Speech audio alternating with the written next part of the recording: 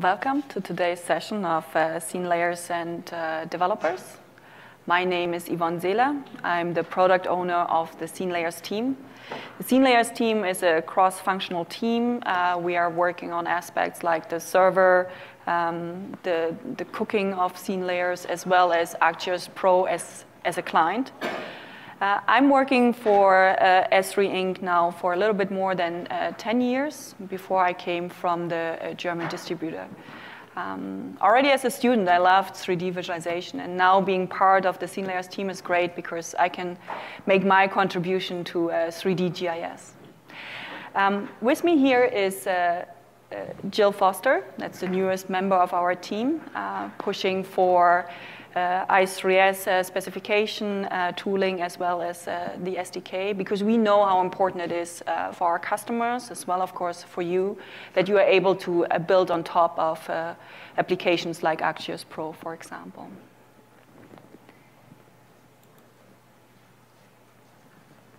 Scene layers uh, allow our users to author and visualize large volumes of 3D content, to combine this 3D content with other types in visualization, analysis, and across the platform. Scenes containing scene layers can be displayed and explored with high performance by ArcGIS clients. Partners, data providers can create scene layers with ArcGIS software or with their own tools. Scene layers can be shared as scene layer packages, SLPKs, or as web scene layers. This is not just a, a, vision statement that we use at conferences like this. We are also using this internally because for every new layer type that we are working on, uh, we really want to make sure that you know, we always design it with this vision in mind. When it comes to the scene layer lifecycle, there are basically four main areas uh, that we take care of.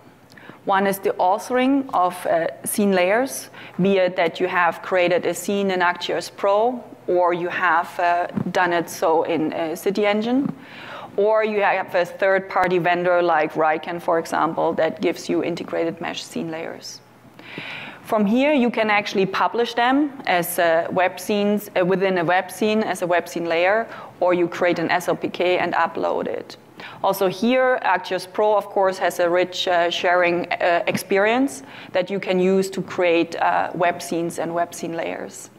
You can also create scene layers using ArcGIS Online directly, or as I said, you can upload SLPKs. Um, the consuming clients uh, for scene layers right now is, of course, ArcGIS Pro, what we will mainly uh, present today. I'm sure you had a chance to also look for JavaScript API or runtime and what they are providing for scene layers. Uh, Earth is a client that uh, uses it as well. And the last part that we are um, supporting for feature-based scene layers like points or 3D objects is the maintenance of uh, this kind of uh, scene layers. Uh, it, the editing client that we are currently supporting is ArcGIS Pro, and I will get into each and every of these uh, areas in more details.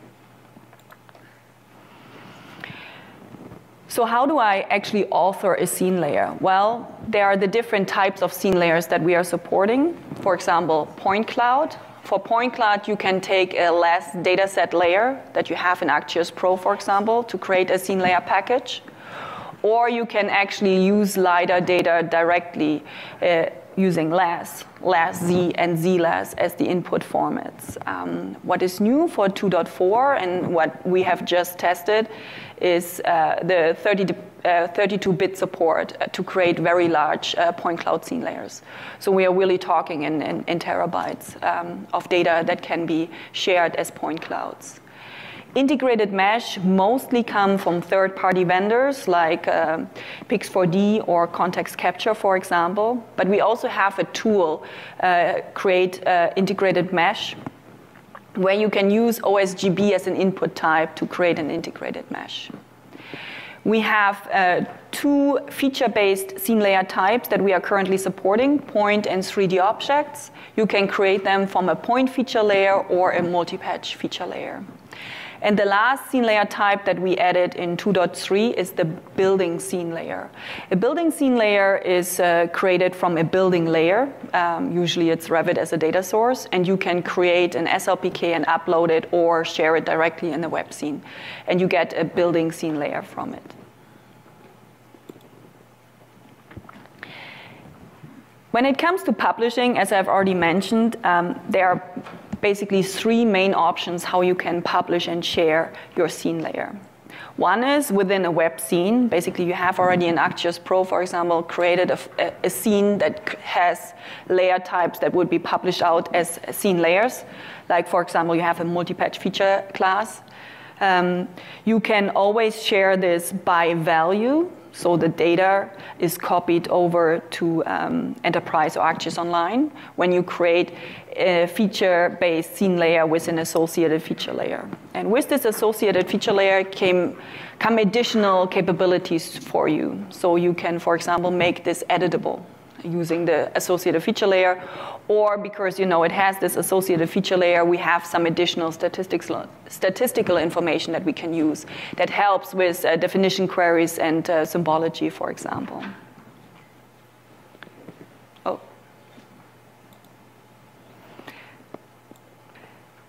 The other way to share is as a web scene layer. In this case, I can share by value or by reference. If I share by reference, all my, my data for the associated feature layer remain in my enterprise geodatabase, for example.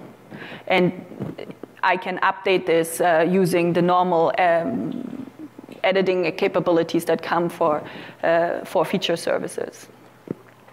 Usually, uh, the coordinate system um, will be for, if I share as a web scene layer, the coordinate system will be the coordinate system of the scene itself. Um, we are uh, recommending that if you make an editable scene layer, that you always stay in the coordinate system of, of your data itself. Meaning that if you are working in a projected coordinate system and you want to edit it, please don't edit this in a, in a global scene um, for the same reason that you, you don't edit any other data outside of, uh, or when you need to uh, project on the fly. And the last way of uh, creating a scene layer is really by creating an SLPK. You have multiple um, scene layer tools you can use. We have uh, done in 2.3 that we actually cut them into the individual scene layer types. And you can find them all in this toolbox, together also with a validation tool. So let's say you get an SLPK from a third-party vendor. You can actually ask uh, if there are any problems. You can actually validate it, and please, you know, let us know if there are any problems. Um, you, you can uh, have a report and, and send it to us. Um, the main reason why we, uh, we actually uh, decided to have it in multiple tools is that we, of course, uh, plan in the future, like we did the last release with building scene layers, to have more and more scene layer types that you can share across the platform. And we want to make sure that we can um, really provide the capabilities uh, individually for each and every of the scene layer types. Now that we talked about the authoring and the publishing, now I want to get into uh, the consumption of uh, scene layers. Um, we are here mainly talking about uh, ArcGIS Pro, but the same capabilities um, are available when it comes to visualiz visualization for, um, for scene viewer, for example. The point cloud scene layer allows me to uh, really show billions of points uh, consuming in Pro, Runtime, or in JavaScript API. It is optimized for scene layers with dense interior and exterior point clouds. And I can, for example, change the appearance, like I can change the symbology, I can change the filter on my point cloud. Uh, I have a little video here from the interior of uh, the user conference uh, island area. So I will just uh, start this now. And basically what I'm doing is I'm going inside of this uh, uh, island area and I'm turning on the uh, point cloud. And that was provided by the company Trimble. Um, they went through the island area while there were actually still uh, people, so all the uh, the blue on the ground is actually really uh, people walking there right now. And as you can see, I can, I can navigate this uh, point cloud. I can really see inside of this island area. Um, I can also look at this from above. So I have another bookmark where I can see the, um, the ceiling. And when I now, you know, go through the point cloud and look up, I can really see the rafters and um, see a lot of details of this particular point cloud. This is just one example how you can use this for uh, interior point clouds, but of course also for uh, airborne uh, LiDAR as well.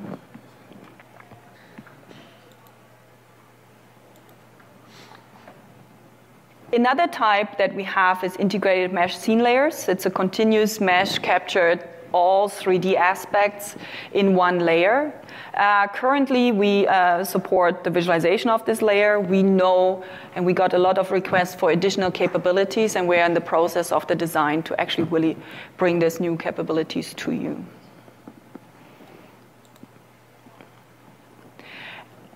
I'm sure, uh, I don't know who of you actually went to some talks about BIM and uh, uh, BIM integration in uh, ArcGIS. It's a very important story for us. And uh, our way or our contribution to this is the building scene layer. Already in Pro 2.2, you could actually use Revit as a data source and create a building layer, and that would only be an ArcGIS Pro. With 2.3, you can create a building scene layer. And that was really one of the first things that we saw on the beta forum when we uh, brought out two, this uh, layer type in 2.2, when can I share this across the platform? And what really comes with this in addition is that I can um, toggle uh, category layers on, on and off very easily. I can define filters to only see assets that I'm interested in. Uh, it is the same, it's organized the same way as a building layer. So I have my uh, discipline layers like um, architectural, piping, structural, and so forth. I have my category layers like walls and windows, and they are all organized the same way as uh, you already know from a building layer.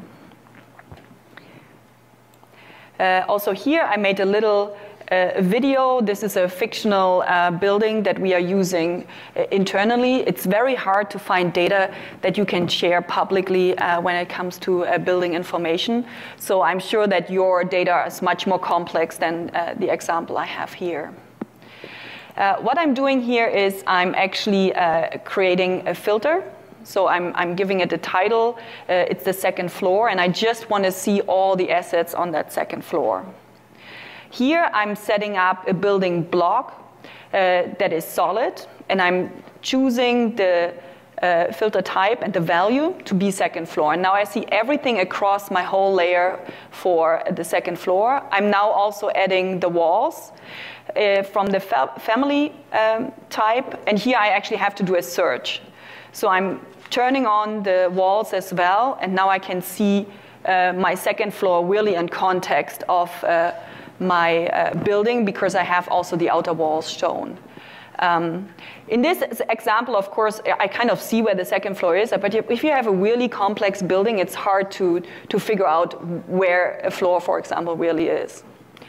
Another thing that we have is that the filter blocks are actually um, have priority. So now I have moved the walls, uh, the, the wireframe above the, the solid one, and now even the inner walls are in wireframe. So why did we do this? Because it's very important that you know you can build very complex queries for your data, and instead of you know letting you set a category layer for each and every. Um, uh, for each and every of these category layers, we just want to have one experience for the whole building. Uh, I know that uh, the JavaScript API also has implemented this now, uh, and you can share this kind of uh, filter across the platform. Um, the other thing that you saw here is now you can also category layers, you can toggle them on and off very quickly. So we really wanted to have this smooth uh, uh, user experience for any building information that you might want to share.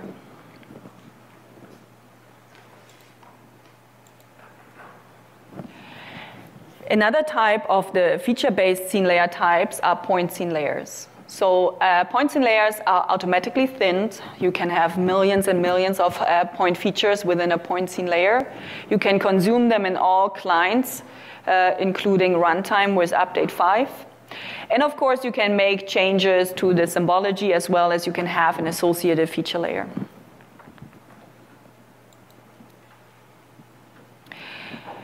Much more commonly used uh, are 3D object scene layers. Uh, as I said, you create them from multi-patch feature classes, for example, and you can visualize, for example, millions of uh, outer shells of buildings. That is the, the most uh, common use case that we have seen, but of course it could be any other 3D object that you can, you can think of. Also in this case, I can create a 3D object scene layer with an associated feature layer that would allow me to maintain this kind of data. They are supported in all clients as well, and I can, you know, change the appearance. I can um, hide specific features, and I can um, maintain them. What I have here is a, is a little example of uh, the city of Lyon, and I was uh, um, adding to this data um, noise levels within the city. So what I'm doing here is really just I have an existing scene layer and I'm changing the symbology to be of a graduated color. And then I can, as you see, uh, when I uh, zoom around, it's, it's very responsive. So if I would try to do this with a multi-patch feature classes, it would definitely take a little bit more time. Um, here is a specific color scheme. I'm changing this here to be more yellow and red. And if I do so, you can see that in uh, particular in areas that are around the, the train uh, uh, stations or uh, really busy roads, you can see that there is much more noise levels. And also here, you know, I can, I can navigate this, this easily because uh, it's coming from a 3D object scene layer.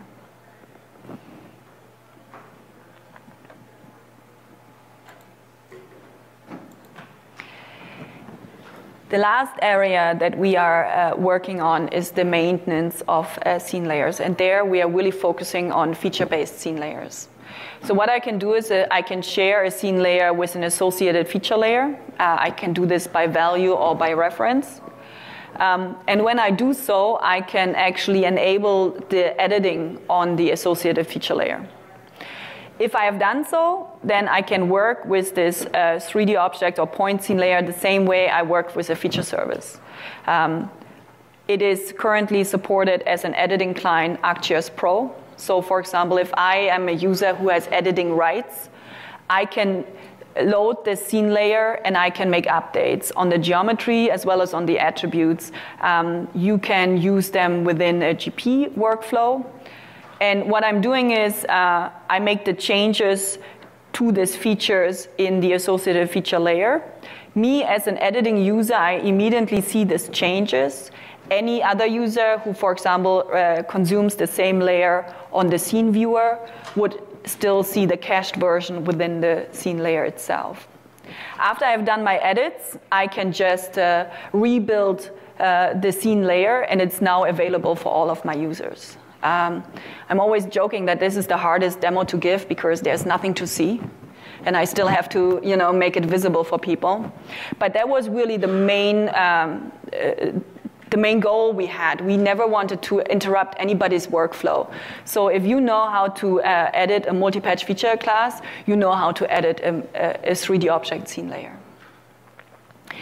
And with this overview, I uh, hand over to, uh, to Jill to give you more insights of the i3s spec, the tooling we have in addition, and uh, our current uh, plans for the Pro uh, 2.4 SDK.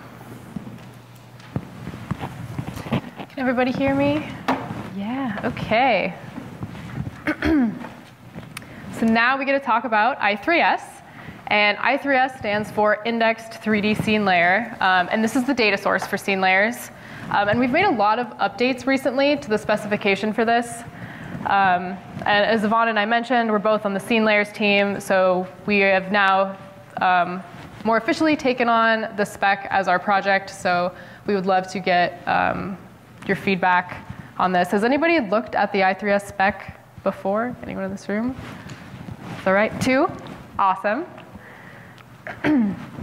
So I3S, um, we'll start at the base level. Um, so I3S is an OGC community standard. Um, OGC stands for the Open Geospatial Consortium, and they're a voluntary um, consensus and standards organization. And I3S is a specification for streaming and distributing geospatial 3D content. And the open community standard of that means um, the community standard is a process for approving widely adopted specs and formats. And getting this done was a team effort by Esri, our partners, customers, and other interested industry parties.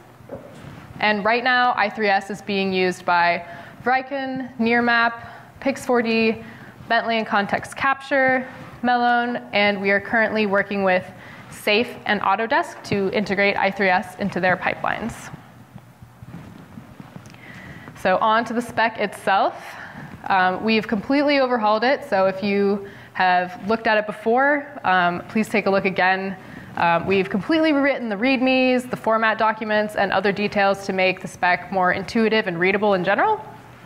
Um, and one of the biggest changes we made is it's now also organized by profile type. So if you're only interested in 3D object scene layers, or if you're only interested in point clouds, now um, you can see all the documentation um, in one place organized by profile type. And um, in the most recent release, which was actually last Friday, um, we added official documentation for point cloud scene layers as well as the building scene layer. Um, and we will be providing a scene layer upgrading tool to help you transition to new versions of spec in the future. So let's actually go to the link on GitHub. Doesn't look like it gave it to you. Um,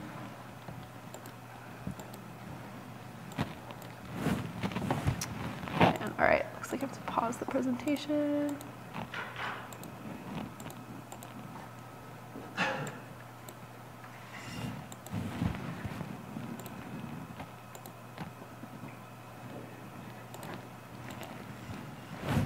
All right, so this is the, um, the i3s spec.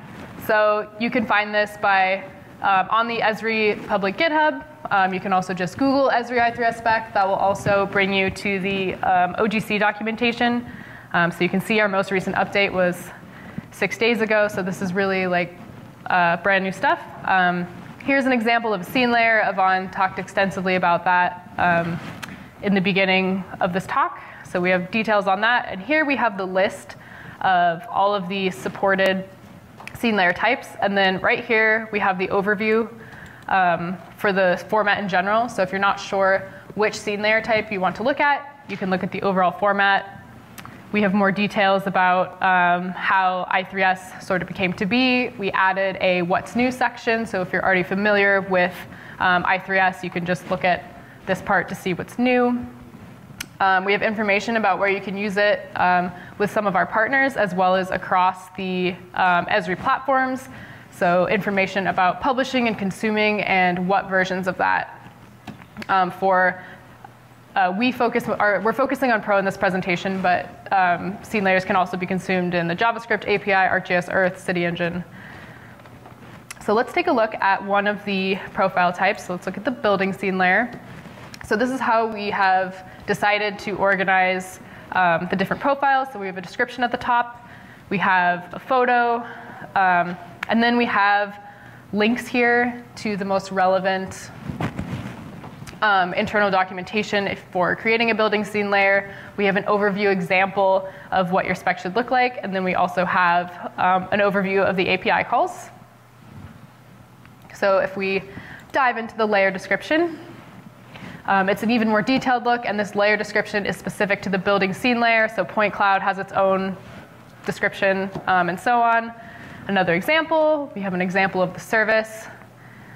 A few more details. We also have a related section um, with links to the internal spec. We have the properties that you would expect to have um, in the uh, in the layer. The properties in bold are required, but this lists all of them. It lists the types, it has descriptions, it has even more links. And then we also have working examples. Um, so this is a building scene layer. Um, And you should be able to copy and paste this. You can see that. Um, and we also have an example of a building scene layer without an overview. So if I go back to the main README, um, if I wasn't sure I wanted to look at building scene layers, I could look at the format. Um, this document, we also put a lot of time in um, reorganization and rewording. We now have a table of contents with links. Um, so if we link to the coordinate system, we have external links. We have a description of coordinate systems um, and how they work within I3S. Um, and then at the end, even more links to related things. So this should really help you guys out. If we look at the spatial reference, once again, we have the same, the similar pattern of a description, related links and properties, and a working example. All right, so back to our slides. Oh, um, is everyone here familiar with GitHub? Somewhat? Okay. Um, so we would love to get feedback on the spec um, anything you'd like to see or if anything could be more clear, if you want even more examples or links. Um, we, this is in GitHub, so please submit a Git issue, um, and we will be keeping an eye on all of that. So next is on to the tooling. So we decided to create this tool because um, this will help keep your data up to the most recent version of the spec, and it will also help you validate your I3S output schema um, so this will, uh, for now, this will just validate the JSON schema you're outputting with your i3s content. If you need a deeper validation, there is a tool inside of ArcGIS Pro called Validate Scene Layer Package, and that um, will give you even more information. Um, but this tool is special because it won't have any dependencies on ArcGIS or ArcObjects, so it'll be available for free on the Esri GitHub. And we're planning to release this in conjunction with the next version of the spec, and we're targeting uh, June 2019, so that's just before UC, along with the uh, Pro 2.4 release. And the first release of this tool will include these options for 3D objects and integrated mesh. And now for the scene layer, ArcGIS Pro SDK. Um, so the Pro SDK in general um, allows you to create custom add-ins and automate some of your workflows. And in the current version of the SDK, scene layers have somewhat limited capabilities. So in the 2.4 Pro release, um, it will expose even more parts of the scene layers to be used in the SDK system. And we did this because we want um, the Pro SDK to be more accessible to you, and we want you to be able to use scene layers in your custom workflows. So here's just a quick overview of the structure. So the scene layer um, pretty obviously inherits from the layer. So anything you've used before um, with the general layer type, all the functionality and features you can also do with the scene layer. Um, and then we have all of the specific disciplines of the scene layer um, come from the scene layer group. So we have the building discipline scene layer, um, point cloud, integrated mesh, as well as the feature scene layers, um, so the point scene layer and the 3D object scene layer. Um, and this will all be described in detail in the SDK documentation.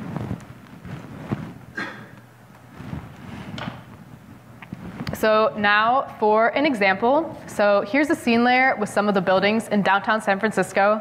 And let's say I've shared this scene with one of my customers, but I only want them to really pay attention to the buildings that have ports. So instead of creating a separate scene layer with just these buildings, I can apply a definition query and then select the buildings um, that I want the customers to focus on. And this might seem like a really simple workflow, um, especially to people who are familiar with ArcGIS, but um, a lot of customers are not comfortable writing definition queries or even opening the properties window. So this is a really easy way, if you're comfortable creating um, add-ins and using the SDK, that you can encourage them to do that and make sure you guys are on the same page and uh, looking at the same thing. So here are the buildings we want to look at. So if you've done other SDK work before, this should look pretty familiar. First, we want to select our layer by name, and then we set the type to be a feature scene layer. And next, we set the definition query using SQL and I use object ID to um, create this definition query, but any valid definition query will work. Um, And I can use scene layers with or without an associated feature layer. Not all scene layers have them. Um, we're using it for this example, but it's not required.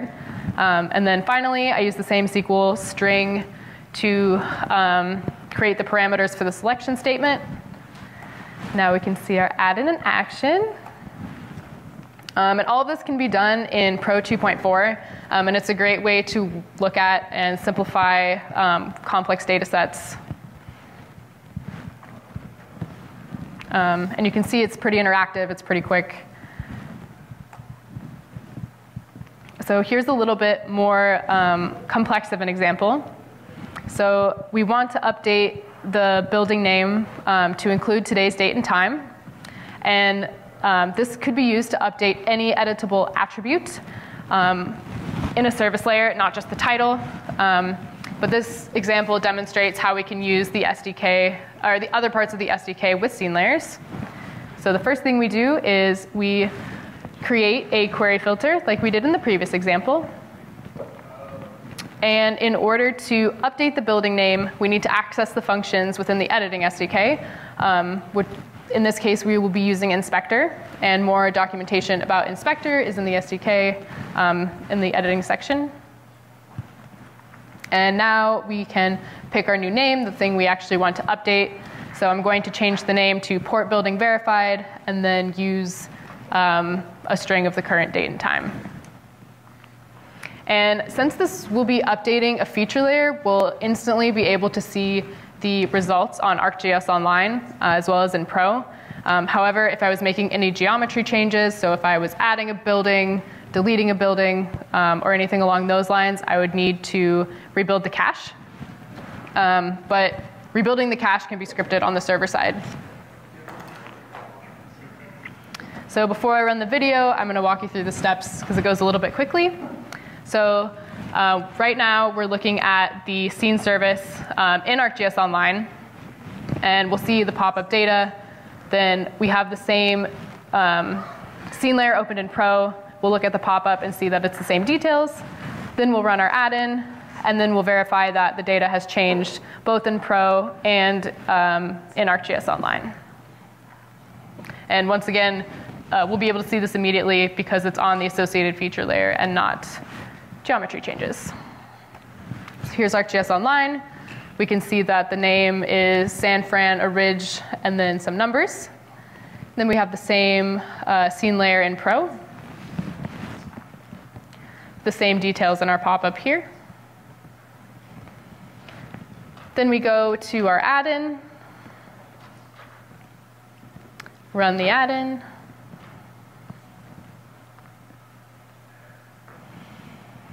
And now we can see that the name of the building has been updated and also includes the date and time of when I created uh, this video. So now we go back to, uh, we refresh in ArcGIS Online, reorient ourselves and make sure we are looking at the same building we were looking at previously. And we can see that the changes have propagated. And right now, this editing workflow um, will only work in ArcGIS Pro, but um, we are working with the online team to make these become available to you. We're already testing it, and to my knowledge, it should be available by UC. So, what's next? Everything we've shown you today um, is what we're currently working on. Um, the next version of the I3S spec is 1.7, and as I mentioned previously, we'd love to get your input. The more input we have, the more um, we can work to incorporate. And the, uh, the release um, for the spec will also align with the uh, just general as excuse me the just general um, as releases. So that's usually about twice a year, um, and the tooling will also be in with that next spec release. Um, and this is just a first step for our tooling. Um, we eventually hope to develop a much broader um, I3S, um, maybe even SDK, where you can validate and upgrade and identify and learn all about the 3D data that you currently have. And then for the um, Scene Layers Pro SDK, uh, both of the examples I showed today were um, created using Pro 2.4. Um, and if you're a member of the beta program, you can already try this out um, starting right now. And you can use the beta program feedback channels uh, to provide feedback about scene layers in the Pro SDK as well as the SDK in general. And with that, I will open it to questions.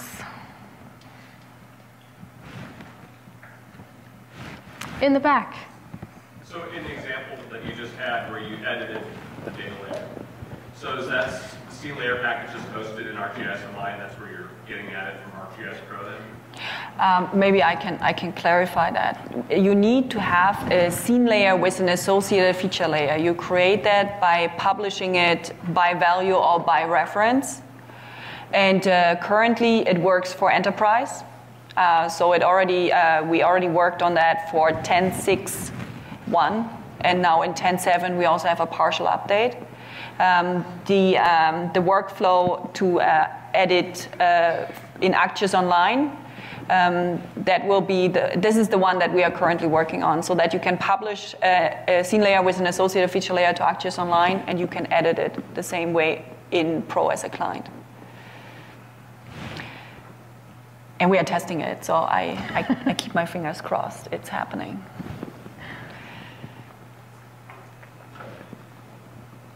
Yeah, anything else? Can I ask one, I'll one for him. Okay. I'm trying to bring him over to the entry side instead of on this kind of.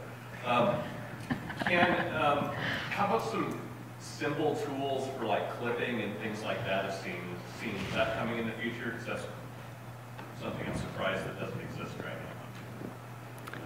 now. Uh, we are aware of this, uh, this need. Um, we are we are not planning this in the next release, but it's not as it's not far out in the future.